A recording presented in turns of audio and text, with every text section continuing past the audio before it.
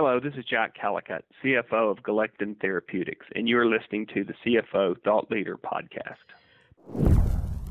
We have the results of our NASH cirrhosis trial coming out in December of this year. We are funded through the end of the year, so we are going to be uh, looking at ways of um, maximizing our cash throughout this year and getting the results of our trial. And then we've got multiple scenarios that we've planned out for when we get these results, be it uh, potential partnering opportunities with other companies, uh, potentially looking at other indications for our drug. It's going to be an, an exciting year.